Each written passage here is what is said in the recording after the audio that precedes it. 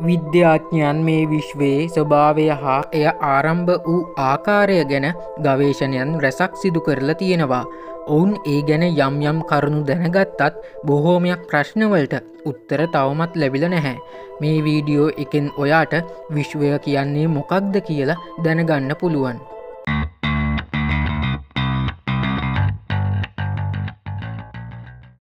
මේ විශ්වය කියන්නේ ඉමක් කොනක් කෙලවරක් දැකගන්න නැති මන්දා කිනිහෙවත් චක්‍රාවාට සමූහයකටයි. විශ්වයට නිහාරිකා චක්‍රාවාට තාරකා ග්‍රහලෝක දූමකේතු ග්‍රාහක වායු සහ දූවිලි ආදී අද පවත්නා සියලුදේ අයත් වෙනවා.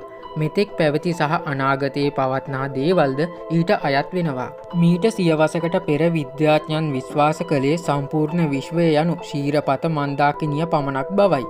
කෙසේ වෙතත් විසිවන සියවසේදී තාරකා විද්‍යාවේ භෞතික විද්‍යාවේ හා තාක්ෂණය දියුණුවත් සමගම විශ්වය කොතරම් විශාල්ද කියා තේරුම් ගන්න පටන් ගත්තා. නමුත් විශ්වය පිළිබඳ සියලුම කාරණා අවබෝධ කර ගැනීමට ඔවුන්ට හැකිවී නැති බව ඔවුන් පිළිගන්නවා.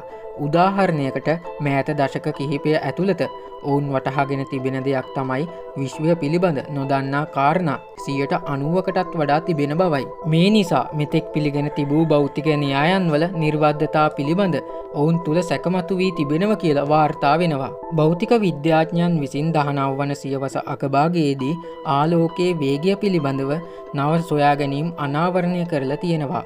මේ පිළිබඳව මනුෂ්‍යයන්ට නොයකුද්දේ පැහැදිලි කළේ ප්‍රසිද්ධ විද්‍යාඥයෙක් වන ඇල්බට් අයිස්ටයින් මහතා විසිනුයි. ඔහු සොයාගත්තේ සියලුම චලිත සාපේක්ෂ බවයි. ඒ නිසා මෙය හැඳින් වූයේ සාපේක්ෂතාවාදය ලෙසයි.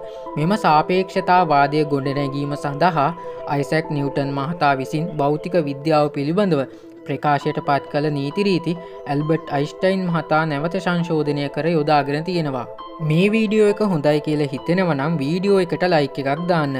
මේ ගැන ඔයාගේ අදහස මොකක්ද කියලා කමෙන්ට් කරන්න. මේ වගේ වීඩියෝ දිගටම් බලන්න අපිව සස්ක්‍රයිබ් කරන්නත් අමතක කරන්න එපා. අලුත් වීඩියෝ එකකින් අපි අයිත් ඉක්මනින්ම මුණ ගැහෙමු. Thank you